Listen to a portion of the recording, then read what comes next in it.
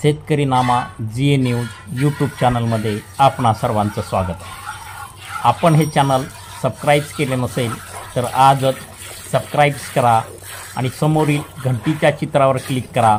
म्हणजे आम्ही जे नवनवीन व्हिडिओ अपलोड करतो आहे ते तुम्हाला घरबसल्या पाहता येतील. आज आपण प्रशांत काकडे यांच्या गीर गाईच्या घोट्याची माहिती घेणार आहोत. गाय गीर गाईंचे संगोपन आणि दूध वाढीसाठी कोणते कोणते उपाय आणि पर्याय करावे लागतात याची सखोल माहिती आपण आज या व्हिडिओमधून घेणार आहोत. मग चला तर माहिती घेऊया प्रशांत काकडे यांच्या गीर गाईच्या गोठ्यातील गाईचे संगोपन आणि घोटा व्यवस्थापन याविषयी.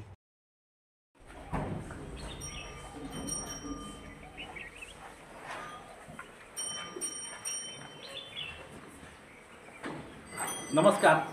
Shetkari Nama G A news YouTube channel स्वागत आहे.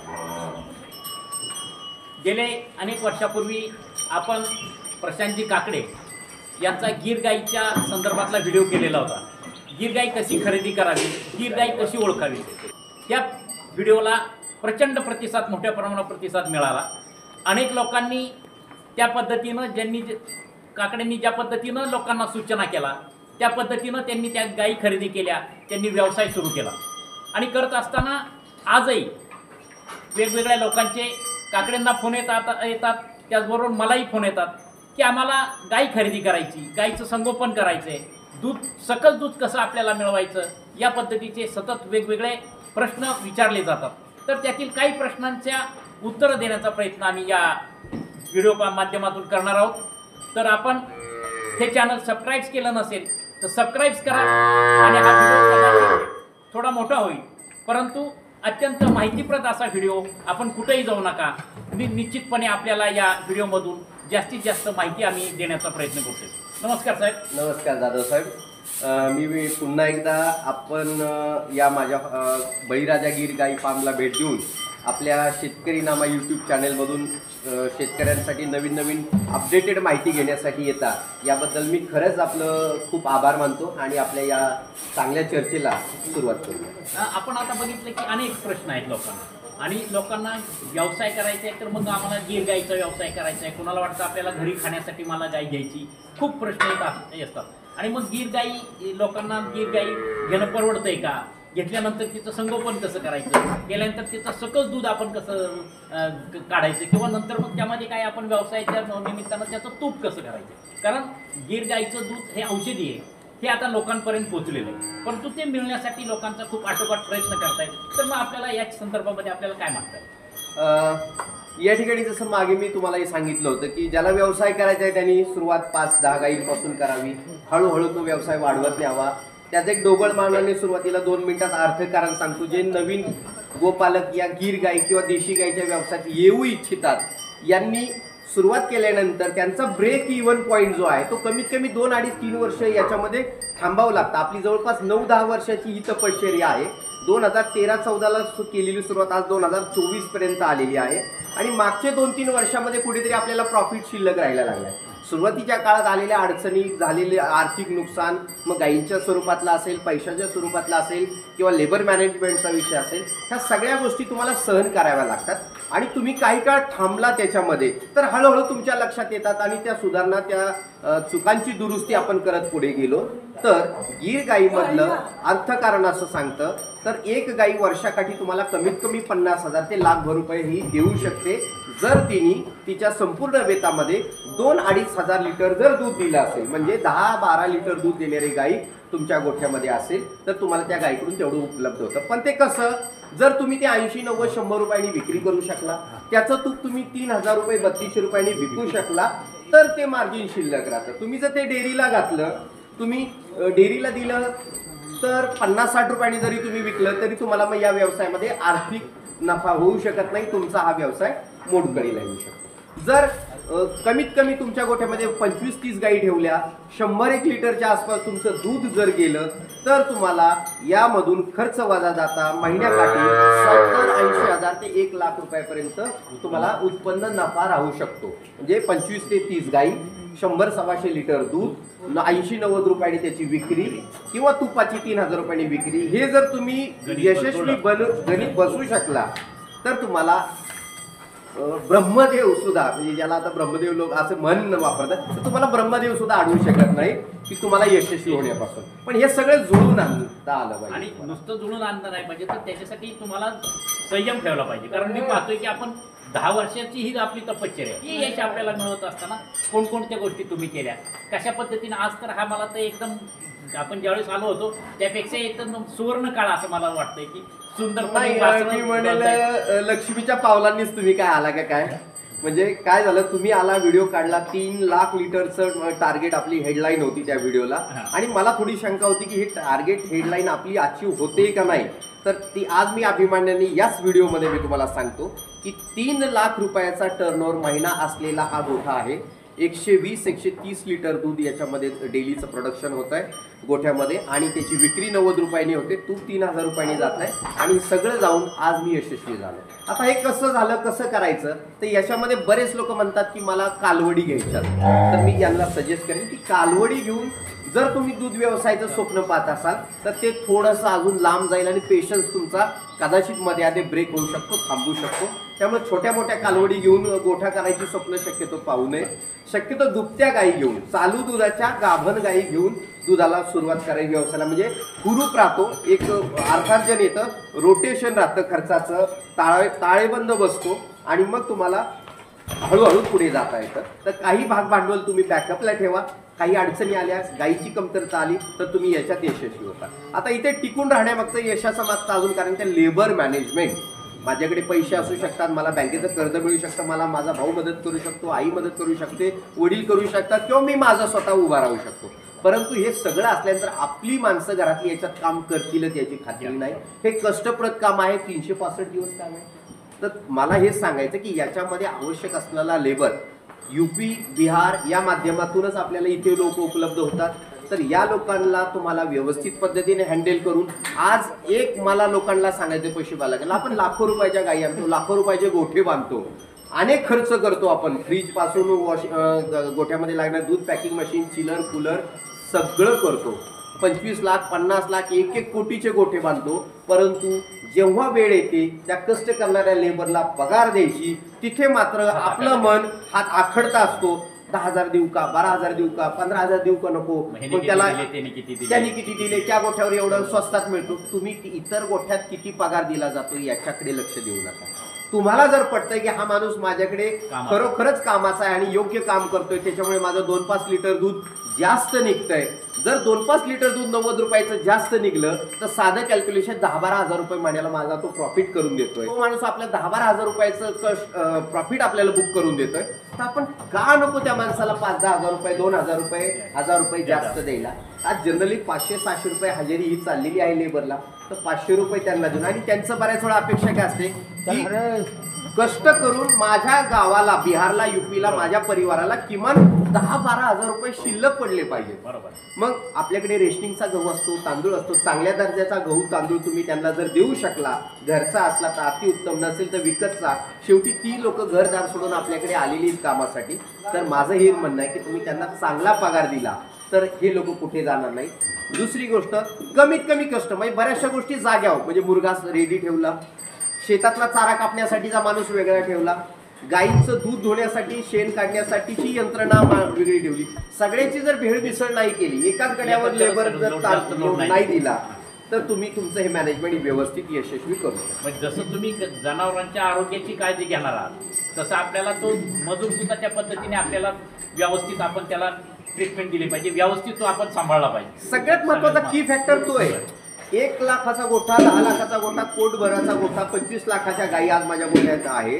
जर माझी माणसंच निघून गेली ही माझी माणसं इथं नाही राहिली तर काय? काय? याला माझ्याकडे माझ्या कॉम्प्युटरवर काय प्रोग्राम नाही? माझ्याकडे कुठला तंत्र मंत्र नाही की मी म्हणलं गायींनी दूध दिलं.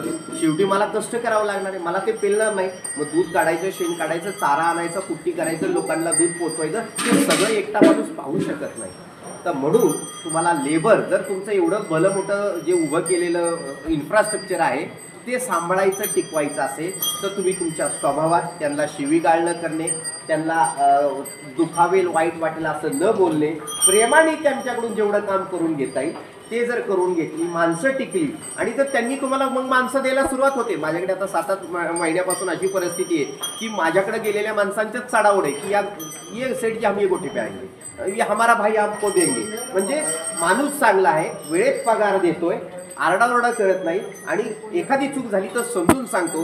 अशा पद्धतीने जर तुम्ही त्यांच्याशी रिलेशन्स ठेवले तर ते लोक तुमचा गोठा बंद पडून देणार नाही. माझ्या गोठ्यात आज मी तीन लोकांना पंधरा त्रिक पंचेचाळीस हजार पेमेंट देतो. खाणं पिणं वेगळं भाजीपाला त्यांच्याकडे आहे. पण माझा महिन्याला जर तीन माणसांमध्ये जवळपास पंचेचाळीस ते पन्नास हजार रुपये मी खर्च करतोय दूध डिलिव्हरी सिस्टमला पंचवीस तीस हजार रुपये मी खर्च करतोय. तर हा खर्च करत असताना याच्यातनं निघणारा आउटपुट जर शंभर लिटरच्या पुढं असेल तर ते मला परवडतंय. म्हणजे मी पण हॅप्पी आहे माझा लेबर पण हॅप्पी आहे. जर माझं दूध साठ सत्तर लिटर आलं तर मला परवडणार नाही प्रॉफिट होणार नाही. म्हणून तुमचा ब्रेक इव्हन कुठे? पन्नास साठ लिटर हे दूध हा माझा ब्रेक इव्हन आहे. त्याच्यावरती होणारं उत्पन्न हा माझा प्रॉफिट आहे. तर तुमच्याकडे गडी ठेवताना गायी ठेवताना हा ताळेबंद म्हणून म्हणतो आपण शिकलेला मजूर शिकलेला शेतकरी शिकलेला तरुण हा ही गणित मांडू शकतो. मला प्रॉफिट होतोय का नाही? माझं नुकसान होतंय का नाही? तर हे पण या ठिकाणी गरजेचं आहे. मजूर आले आता जनावर आली तुमच्या गोठ्यामध्ये आली. गोठाची परिस्थिती कशी कसा असावा गोठा? नाही गोळ पश्चिम असावा गोठ्यात हवा खेळती असावी. गोठ्याच्या शेडची उंची दहा बारा पंधरा फुटापर्यंत जास्तीत जास्त असावी. गायींच्या मागचं गोमूत्र पडल्यानंतर ते लगेच निघून जाणारं असावं. मागच्या बाजूने गायींच्या ये जा करायला जागा असावी. गव्हाण व्यवस्थित असावी. खा थोडीशी खाली असेल तर गाईला खायला आराम पडतो. दोन गायींमध्ये वाद होणार नाही भांडण होणार नाही. अशा पद्धतीने त्या गव्हाणीची रचना असावी. त्यांना मुबलक प्रमाणात पाणी पिण्यासाठी गव्हाणीमध्ये पाण्याची व्यवस्था आपल्याला करता आली पाहिजे. बसताना बऱ्याच वेळा आपण हार्ड कोबा बनवतो तर कोब्यापेक्षा त्या ठिकाणी सॉफ्ट मॅट आलेले आहेत. लाइट वेट दोन हजार बावीसशे तेवीसशे रुपयापर्यंत मिळतात. जवळपास सहा बाय पाच किंवा सहा बाय साडेचार फुटाच्या असतात त्या अशा स्वरूपाच्या बॅट तुम्ही माझ्या गोठ्यामध्ये कॅमेऱ्यामध्ये पाहू शकता या गाईच्या मागे आहे. गोठ्यात सगळ्या ठिकाणी वापरले ती गाईला उठताना बसताना गुडघ्यावर ताण येत नाही. बसताना तिचा सड पायाखाली चेपला जात नाही. म्हणजे अशा अनेक गोष्टी गाईंच्या आपण जर बारकाव्याने जर पाहिल्या तर गोठ्याचं नियोजन कुट्टी मशीनची जी जागा असते तर गोठ्याला लागून माझी कशी जवळच आहे. म्हणजे गड्याला फक्त लगेच तिथून दहा पावलात आतमध्ये येते. म्हणजे उगाच कुट्टी मशीनची खोली लांब गोठा दुसरीकडे येतो वाहतुकीला प्रॉब्लेम येतो. गड्यांच्या लेबरच्या क्वार्टर गोठ्या शेजारी किंवा समोर असाव्यात.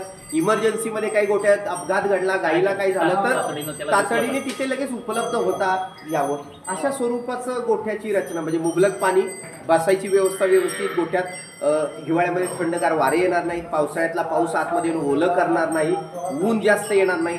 पण गोठ्यामध्ये सूर्यप्रकाश हा आला पाहिजे तर तुमच्याकडे माशी मच्छर अशा गोष्टी राहणार नाहीत. तर ह्या काही गोष्टींची जर तुम्ही काळजी घेतली तर शंभर टक्के गोठ्यामध्ये असणाऱ्या जनावरांना तुम्ही आल्हाददायक आनंदाचं वातावरण द्याल आणि त्याचा इफेक्ट तुम्हाला दुधामध्ये अवश्य पाहायला मिळेल. त्यामुळे गोठ्यामध्ये खड्डे असलेला मुरुम जास्त असलेला हार्ड कोबा असलेल्या जागा त्यांना देऊ नका. शेवटी ते जनावर आहे त्याला सांगता येत नाही पण त्याचा इफेक्ट दुधात होणार. खड्ड्यात बसलं दूध कमी निघणार. गाई कुठेतरी आचकणार चमकणार दुखणार तिला. ती सांगता येणार नाही. कोब्यामध्ये बसताना जर सड चेपला तर त्यातलं दूध कमी आला तो सड बरा व्हायला महिना पंधरा दिवस जाणार. ते आर्थिक नुकसान होणार मास्टायटिस होण्याची चिन्ह निर्माण होणार. म्हणून माझं तुम्हाला असं म्हणणं आहे की गाईला गाईची जेवढी काळजी घ्यायला लेबरची काळजी घ्याल तेवढ्याच प्रमाणात तुम्ही या व्यवसायामध्ये यशस्वी व्हाल तर दूध वाढीसाठी किंवा गायीच्या आरोग्यासाठी काय आपल्याला केलं जसं मी सांगितलं की कोणतीही गाई आपल्याकडे एक पद्धती गाई वेल्यानंतर तिला खुराक द्यायचा. असं न करता त्या गाईचं संगोपन तुम्ही गाभण काळामध्ये करा. बाराही महिने तिला मिनरल मिक्सचर नावाचा जो घटक मी मागाशी आपल्या व्हिडिओमध्ये तुम्ही दाखवला तो जर त्या ठिकाणी कव्हर केला तर गाईला मिनरल मिक्सचर सुका चारा ओला चारा त्याच्यामध्ये ओल्या चारामध्ये सर्वोत्तम चारा म्हणून मी मकेला नंबर एकचं स्थान देतो. मग त्याच्यानंतर उपलब्धतेनुसार तुमच्याकडे शुगर गेज किंवा कडवळ की ज्याला हिरवी ज्वारी म्हणतो हिरवी बाजरी म्हणतो सुपर नेपियरचा चारा म्हणतो. नेपियर नका वापरू सुपर नेपियर वापरा. त्याच्यामध्ये अजून पुढं बुलेट वगैरे असे बरेच प्रकार आलेले आहेत. असे नेपियर सुपर नेपियर? जो जुना घास आहे त्याला अशी काटेरी म्हणजे ही लव असते. ते अंग घासतं ऊस- जास्त आहे. तो हार्ड होतो कळकासारखा मग तो गाईला पचनाला त्रास देतो. गाई जुलाब करतात. डायजेशन प्रॉपर होत नाही. सुपर नेपेर चाऱ्यामध्ये अ, हा कडकपणा घालवायचा प्रयत्न केला. हा कूस कमी केलेली आहे. सुपर नेपियरची वाढ लवकर आहे. त्याला थोडासा गुळचटपणा आपण ज्याला गोडवा म्हणतो तो त्याच्यामध्ये आलेला आहे. आणि मग तो दीर्घकाळ हिरवा राहतो कमी पाण्यामध्ये सुद्धा. गडद जास्त होत नाही म्हणून सुपर नेपियर किंवा बुलेट ह्या फोर जी हे जे काही आलेले चारे आहेत त्याचा तुम्ही वापर केला. त्या चाऱ्यामध्ये दरवर्षी कडबा किंवा गव्हाचं काढं किंवा सुकी तुरीचं काढं हे जर तुम्ही मिक्स करू शकला तर गाईचा पीएच म्हणजे नुसतीच मका खायला घातली तर गाय दूध देते म्हणजे पण गाय हिरवं म्हणून जर हिरवंच खायला घातलं तर गाय खराब होते. दूध मिळते पण गाय खराब होते. तो गायचा पीएच शरीरातला बॉडीचा पीएच मेंटेन. संतुलित आहारामध्ये वीस तीस टक्के ड्राय पावडर पाहिजे. मग तुम्ही कडवा. मी सांगितलं तुरीचं काढं गव्हाचं काढं तुमच्याकडे कुणाकडे भुईमुगाचा पाला जे जे काही उपलब्ध असेल ते तुम्ही जर वापरलं तर गायची शाईन गायची तब्येत गायची चकाकी तुम्ही मागच्या गायीचं उदाहरण पाहू शकता. बॅलन्स डाएट असेल तर गाय गुडगुडीत राहतात. गुडगुडीत राहिली गाई पुढच्या वेळी दुधाला चांगली चालते. मग तुम्ही त्याच्यामध्ये गाई वेईपर्यंत गाभण काळात सहाव्या सातव्या महिन्यापासून तिला प्रेग्नन्सी फीड म्हणून येतं. मग अनेक कंपन्या मार्केटमध्ये आहेत. अमूल सारख्या आहेत गोदरेज सारख्या आहेत तुमची हिंदुस्तान फीड आहे सोनाई आहे ज्या काही कंपन्या असतील त्यांच्यामध्ये तुम्ही गाभण गायींसाठी एक वेगळ्या बॅग्स येतात ते एक एक दोन दोन किलो सकाळ संध्याकाळ जर दिलं गाई वेईपर्यंत तर तुमच्या गाईची वार अडकत राहत नाही वार लवकर पडून जाते गाई दुधाला दीर्घकाळ चालते दहा दहा बारा बारा लिटर दोन दोन तीन तीन चार चार महिन्यापर्यंत दूध देते लवकर लागवड होण्याची शक्यता वाढते. तुमच्या गाईकडून तुम्हाला दीर्घकाळ सात महिने आठ महिने नऊ दहा महिन्यापर्यंत दूध मिळू शकतं. तर ह्या गोष्टी जर तुम्ही गाभण काळामध्ये संगोपन नीट केलं आणि वेल्यानंतर मग तिला गूळ असेल कॅल्शियम असेल मिनरल मिक्सचर असेल किंवा त्या गायींना कॅलॅबजेल सारखा प्रकार गायी वेल्यानंतर जो पाजला गेला तुम्ही तर ह्या गोष्टी तीन चार दिवस आठ दिवस एक ऑस्ट्रोवेट म्हणून एक डब्बा येतो त्याच्यामध्ये वायब्रेल नावाचं काही लिक्विड मिक्स केलं तर ते गायीच्या शरीराची झीज भरून काढतं. नैसर्गिकरित्या आपल्याकडे असलेला गूळ असेल अ, मीठ असेल मकेचा भरडा असेल गव्हाचा थोडाफार प्रमाणात भरडा असेल आणि गोळी पेंड ज्याला म्हणतो कॉन्सन्ट्रेट फीड असा जर दोन अडीच किलो सकाळ संध्याकाळ चारा दिला तर गाई तुम्हाला दुधापासून कधीच कमी होताना दिसणार नाही.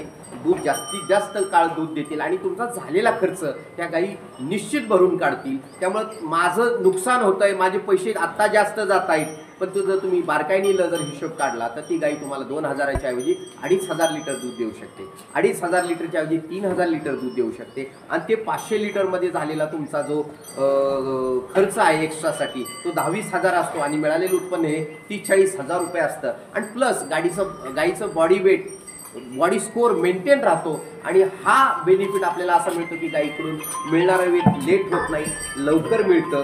दीर्घकाळ दूध मिळतं.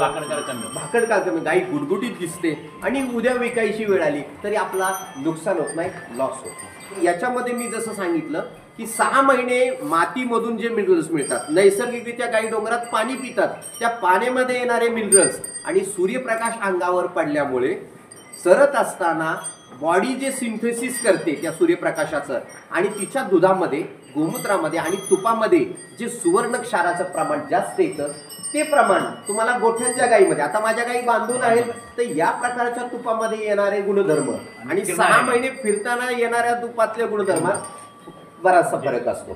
तर माझं लोकांना हेच म्हणणं आहे की हे तूप जर बनवायचं असेल तर तुम्हाला दोन पर्याय आहेत. एक तर तूप बनवत असताना जर तुम्ही ते वैदिक किंवा- वैदिक म्हणण्यापेक्षा मी त्याला ट्रॅडिशनल पद्धत म्हणेन किंवा पारंपरिक पद्धत जी पिढ्यानपिढ्या आपल्याकडे चालत आलेली आहे ती पद्धत जर तुम्ही वापरली तर त्या तुपाचे रिझल्ट गुणधर्म चांगले येतात. खाणाऱ्या माणसाला किंवा पेशंटला किंवा त्या व्यक्तीला त्याचा रिझल्ट येतो आणि ते माणूस ते तूप तुम्हाला वारंवार परत परत मागतो.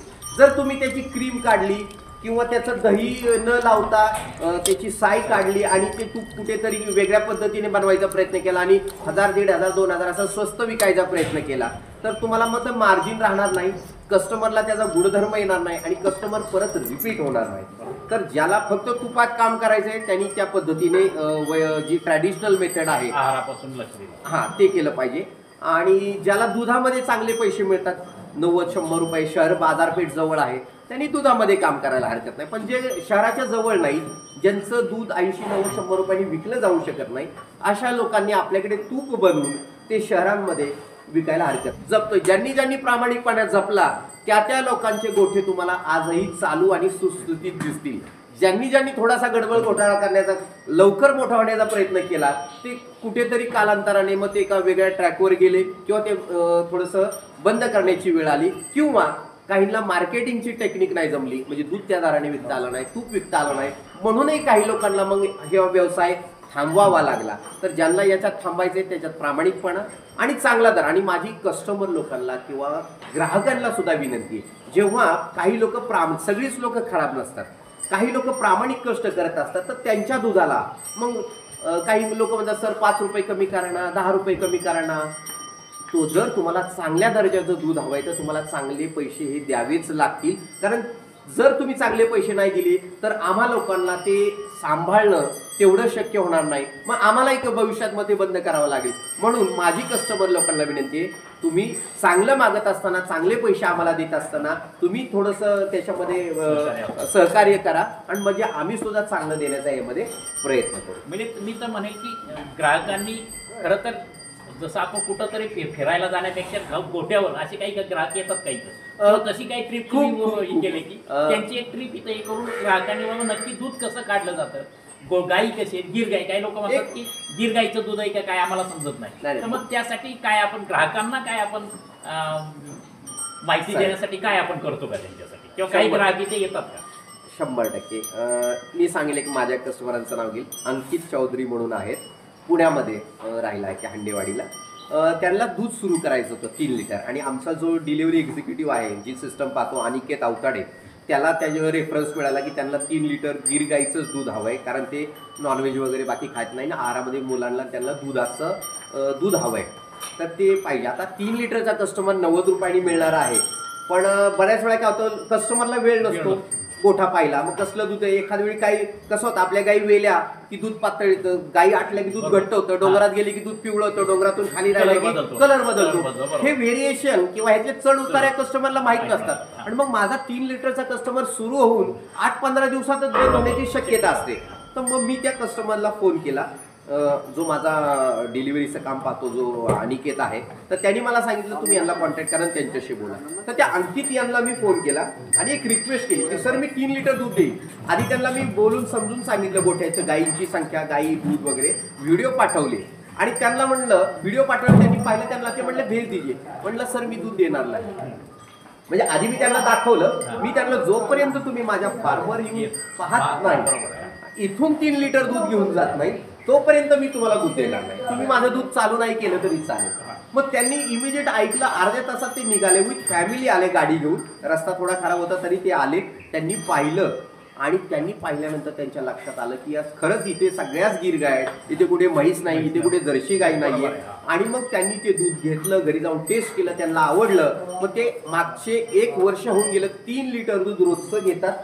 वेळेमध्ये सगळ्यात पेमेंट असतं. आणि त्या व्यक्तीने आवर्जून तुपाच्या व्हिडिओमध्ये मी त्यांचा इंटरव्ह्यू एका दिवशी त्यांच्या सोसायटीत मी इव्हेंट केला. अजून दूध माझं सेल हवं म्हणून. दहा किलो तूप त्या व्यक्तीने माझ्याकडून घेतलं. निगोशिएट केलं. सर मला पंचवीस शेणी द्या सव्वीस शेणी द्या. शेवटी मी त्यांना अठ्ठावीसशे रुपयांनी दहा किलो तूप अठ्ठावीस हजाराचं तूप एका दिवशी दिलं. म्हणजे हे प्रॅक्टिकली पॉसिबल आहे. त्यांनी ते पाहिलं.